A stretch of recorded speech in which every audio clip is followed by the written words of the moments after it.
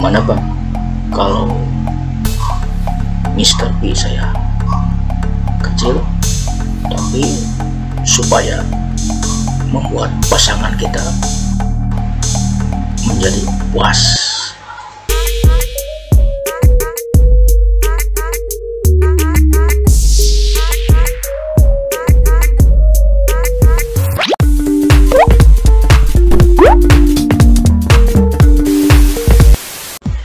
Assalamualaikum warahmatullahi wabarakatuh bersama Dedi Rupani Channel di video kali ini saya akan menjawab request dari seorang teman di mana dia apa, meminta solusi tentang gimana bang kalau Mr. P saya kecil tapi supaya membuat pasangan kita menjadi puas. Nah mungkin saya akan memberikan dua alternatif. Yang pertama mungkin sebagian atau semuanya sebagian besar udah tahu tips pertama ini. Gimana caranya? Jangan ke mana-mana tetap stay di sini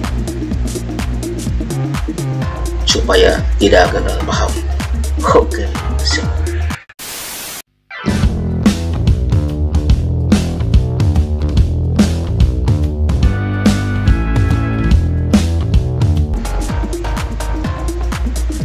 dalam hal Mr. P ya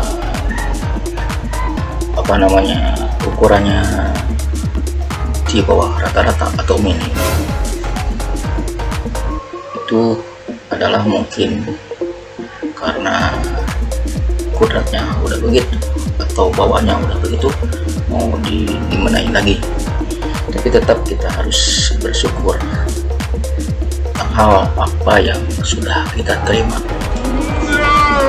jadi intinya kita harus bisa berdamai dengan diri kita sendiri Mame. atau bisa memanage atau mensiasati di mana pasangan kita puas walaupun Mr. P Mr. P maksudnya Mr. P ya anu kita kecil jadi yang cara yang pertama ini adalah mungkin sebagian orang sudah tahu mungkin bakal senyum-senyum hal pertama. Seperti biasa sebelum melakukan kegiatan itu ya kita harus menjumbu pasangan kita. Maksudnya pasangan yang sah ya bukan yang lainnya. Dengan berbagai teknik yang mungkin anda sudah pada hafal tentang hal tersebut ya. Dengan mulai bagian atas bagian tengah dan hal yang utama. Mungkin anda lebih tahu dari saya atau sudah paham tentang hal tersebut? Nah uh, ini cara yang pertama ya. Terus sudah mau melakukan penetrasi si pasangan kita. Intinya membopong pasangan kita kita ganjal dengan bantal. Supaya lebih ngangkang dan melakukan penetrasinya supaya lebih mengena walaupun ya walaupun tidak maksimal tapi setidaknya ada nilai plusnya ada lebih ada sensasi lebih dari sebelumnya. Nah itu mungkin cara pertama ya. Yang kedua ini adalah cara saya sendiri. Intinya bisa dikatakan gimana ya? Ilmiah juga bisa karena ini adalah kita mengendalikan atau apa namanya melakukan autosugesti terhadap diri kita dan pasangan kita. Yang pertama sebelum melakukan awalnya ya sebelum apa sebelum berjumpa atau akhirnya mau melakukan penetrasi jadi dua kali ya. Pertama sebelum melakukan cumbuan kita pegang pahanya. Lima jari di atas lutut pasangan kita. Kita berdoa aja apa menurut agama dan kepercayaan anda?